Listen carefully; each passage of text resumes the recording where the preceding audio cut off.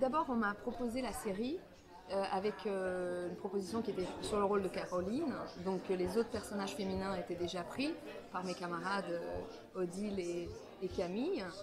Et bon, j'ai trouvé, honnêtement, j'ai trouvé Caroline un peu fade quand j'ai lu le scénario. Je me suis dit, oh, je sais pas, mais j'aimais bien le projet, je trouvais qu'il était intéressant, qu'il avait.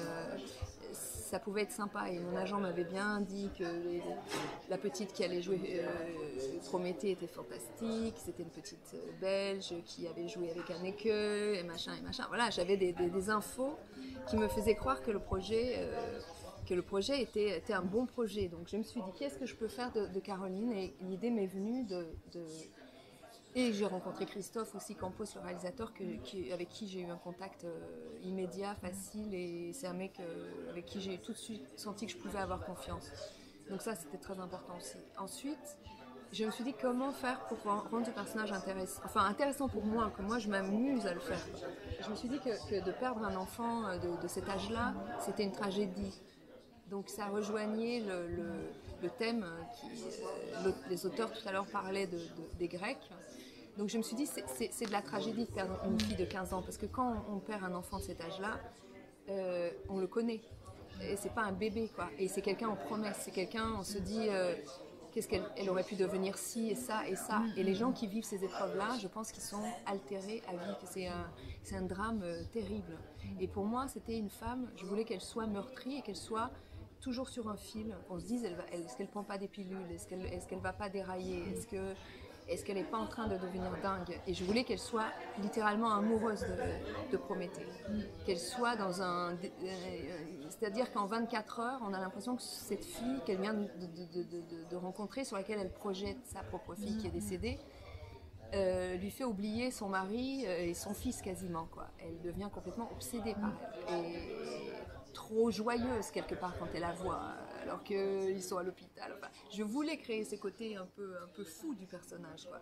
Mais sur un fil donc pas non, non plus la cinglée quoi, mais le personnage que on ne sait pas si elle va basculer d'un côté ou de l'autre. Et, euh, et c'est dans le texte, je ne l'ai pas inventé. Je veux dire, c'est dit à, à certains moments. Et, et donc voilà, c'était ça qui m'intéressait euh, à explorer, à proposer euh, au public.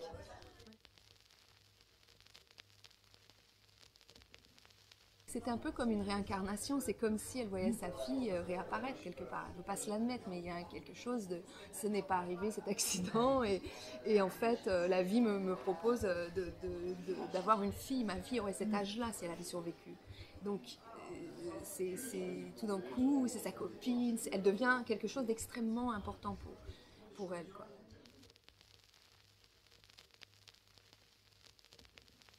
Moi, je ne sais pas ce que, ce que le public doit re- retenir.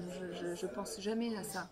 Euh, je pense que quand on regarde quelque chose, euh, l'intérêt, c'est d'être bousculé un peu, d'être d'être- transporté, d'être transformé. Ultimement, la chose la plus belle d'une œuvre, c'est d'être transformé. De, on n'est plus la même personne. Ça peut durer cinq minutes, mais quand on sort du cinéma, par exemple, ou qu'on sort de voir un- une très bonne série, moi, je sais que je suis modifiée pendant 10 minutes à peu près. Je, suis, des fois l'hé- l'héroïne ou le héros du film pendant 10 minutes. Ça, c'est drôle.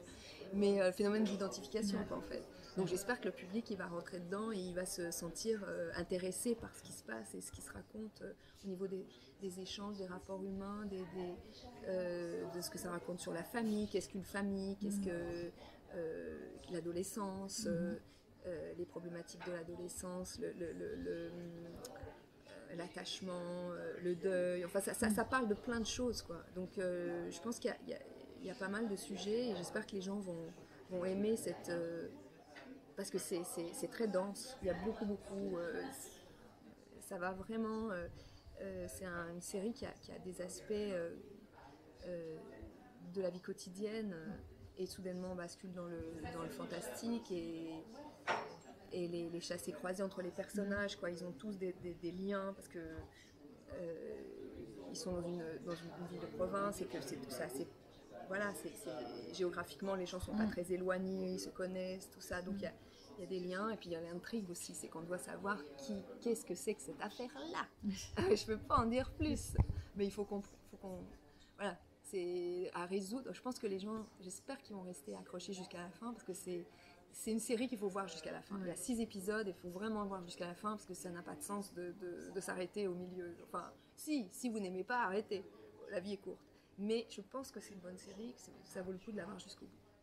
Bah,